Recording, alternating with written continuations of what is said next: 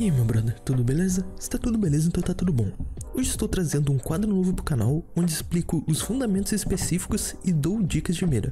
Neste primeiro vídeo vou ensinar você o que é tracking e o que você precisa fazer para treinar e melhorar seu tracking. Então bora pro vídeo! Tracking é uma das principais habilidades que você precisa ter. Aí você se pergunta, por quê? Porque é a habilidade de você conseguir manter sua crosshair inimigo se movendo. E mesmo que ele mude de direção, você ainda mantém a mira nele sem se perder, assim conseguindo dar muitos hits por segundo e fazendo você ganhar muito mais trocações. Você conseguindo ter um tracking perfeito, você irá ser chamado muito de cheater porque poucas pessoas hoje em dia conseguem ter essa habilidade perfeita. Porque você precisa ter um controle muito bom sobre o mouse e também precisa melhorar sua reação e adquirir a sincronia de seu olho e mão. Você colocando em prática todas as dicas que eu estou passando aqui no canal e ter muita dedicação, você pode facilmente se tornar um dos melhores jogadores de FPS atualmente. Se este é o primeiro vídeo que você está vendo daqui do canal, lhe convido a acessar essa playlist chamada de Nubia Pro Dicas e Treinos.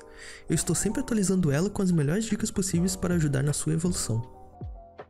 Agora voltando ao tracking, existem duas subcategorias que juntas formam tracking, e uma delas se chama smoothness, ou em português, suavidade. Smoothness é a habilidade de você manter a mira sempre no alvo sem você deixar escapar. Para você treinar sua suavidade no tracking, vou deixar aqui no vídeo quatro nomes de mapas no WineLab, no Covex, no WineBeast, no 3D Aim Trainer e no Aiming Pro. Agora, a segunda habilidade para formar o tracking é o Reactivity, ou em português, reatividade. A reatividade é a habilidade de você reagir o mais rápido possível quando o inimigo mudar a direção que ele está andando, famoso strafe. Adquirindo a reatividade, você irá conseguir diminuir os predicts, que são os maiores inimigos do tracking. Predicting no tracking é você tentar prever o movimento, só que acaba às vezes dando flicks errados e assim você pode perder seu alvo tendo que corrigir e assim acaba estragando todo o seu tracking, podendo fazer você perder uma fight. Para você treinar sua reatividade de tracking, vou deixar novamente quatro mapas de treino nos mesmos Trainers. É isso, meu brother. Tracking é a habilidade mais importante para mira. Para você ter um tracking bom, você precisa ter um ótimo controle de mouse e uma ótima reação. E você tendo tudo isso, de um modo geral, você já vai conseguir ter uma mira boa em qualquer outro jogo, mesmo que ele não tenha muito tracking.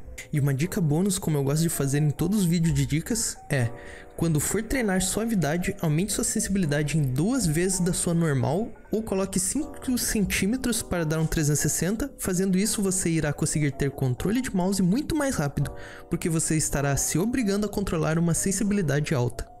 Ah, e relaxa, esquece essa parada de Musical Memory, isso é um atraso para sua evolução. Você irá perceber que quando você voltar para sua sensibilidade padrão, você no início irá achar lenta, mas logo depois vai perceber que ganhou muito mais precisão, junto com outros benefícios ganhos durante seu treino.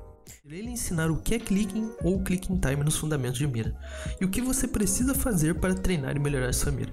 Você se pergunta, clicking, por que devo treinar isso?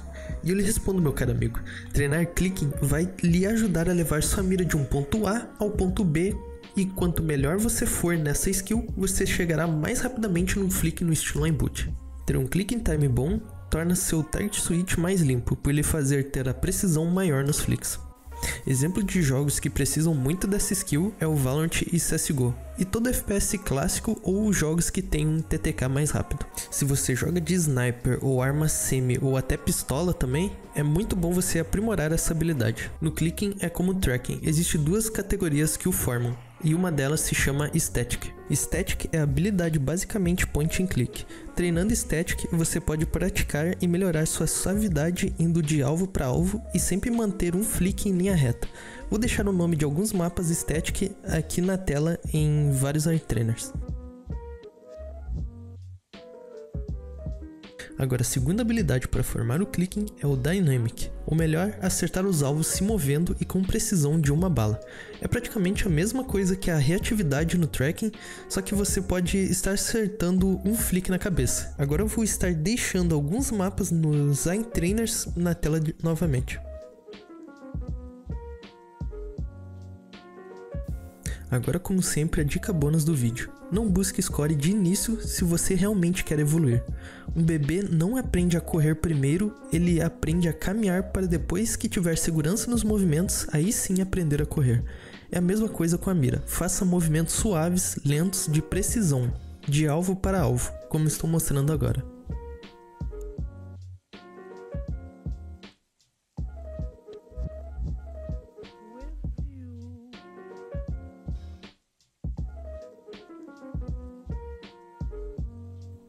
Faça movimentos lineares, acostume com isso e com o tempo a velocidade irá vir junto com a precisão extrema que você irá adquirir, e aí sim quebre todos os seus scores e talvez algum mundial, e não erre mais tiros na cabeça dos inimigos nos jogos. Bill Water, my friend. It's very slow. How is it?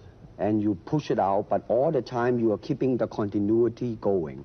Bending, stretching, everything. You know, suppose, you know, I mean, you, you just keep it moving. It's like a ballet dancer there. Yeah, it is. I mean, to, to them, you see, the idea is running water never grows stale. So you gotta just keep on flowing. Vou ajudar você a entender o que é Target Switch e o que você precisa fazer para treinar. Sem enrolação, bora lá. Target Switch é a habilidade de você conseguir jogar sua mira de alvo para alvo de maneira consistente, como se fosse um aimbot. Eu já mostrei um pouco de como você pode evoluir essa habilidade no vídeo anterior, de como treinar sua mira e virar um aimbot humano. Você pode clicar no card aqui em cima e ver este vídeo para poder complementar mais o seu treino. Target Switch pode ser usado de maneira mais eficiente em jogos como Battlefield, Call of Duty, Phantom Force, Bad Business, entre outros que não precisem de compensação de recuperação de recoil. Para você ser bom no Target Switch, você precisa ter uma reatividade boa onde você consiga reagir o mais rápido possível quando for atingido por inimigo, ou também quando você enxergar com sua visão periférica inimigos em volta e ter a reação e noção para flicar certo. Você pode usar do minimapa para saber mais ou menos aonde você precisa flicar.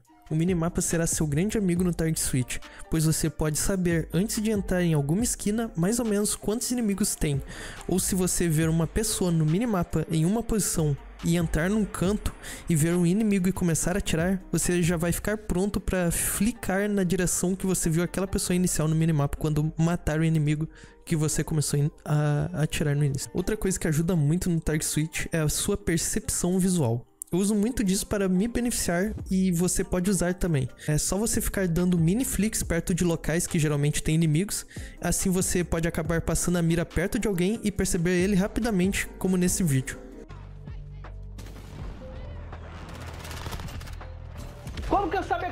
Agora voltando a falar sobre como o minimapa pode te ajudar, vou deixar um exemplo em vídeo como anteriormente. Você acostumando a usar o minimapa ao seu favor, você vai evoluir 100% sua noção de jogo e target switch. Agora, como padrão de vídeos de fundamentos de mira, vou passar para vocês alguns mapas para você treinar seu target switch.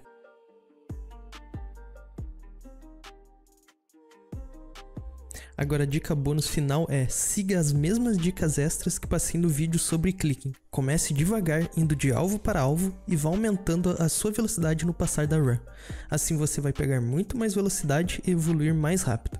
Se você consome conteúdo de treino de mira, você já deve ter escutado eu ou alguém falar sensibilidade em centímetros para dar um 360. Este é o melhor método para você ver a sensibilidade de alguém ou de falar sua sensibilidade, pois serve para qualquer jogo sem precisar converter sua sensibilidade de DPI usado. Centímetros para dar um 360 é a distância que você move seu mouse para o lado no mousepad até dar um 360, como eu mostro nesse vídeo. Para você descobrir quantos centímetros tem sua sensibilidade, eu vou mostrar dois métodos rápidos. A primeira no mouse sensitivity. Você desce a página em Convert From, você coloca o seu jogo que você quer ver os centímetros da sense. No caso aqui, coloquei o CS2. E na primeira aba, preencha com a sua sensibilidade do jogo e na direita preencha com o seu DPI. Logo abaixo terá a distância para dar 360 com a sua sensibilidade. Agora, o outro modo dentro do OnLab. Clique na engrenagem de configurações, clique em controles e selecione seu jogo. Agora em Sensitivity coloque sua sensibilidade. Dessa página verá que tem escrito opções de sensibilidade. Tire do simples e coloque em avançado. Agora em mouse CPI você coloque seu DPI. Suba a página terá escrito distância 360. Embaixo você pode igualar a distância para dar um 360 mirando. Para mais conteúdo sobre mira, visite as playlists do canal e entre no Discord para conversar com a rapaziada e pegar muitos links com as melhores dicas da área.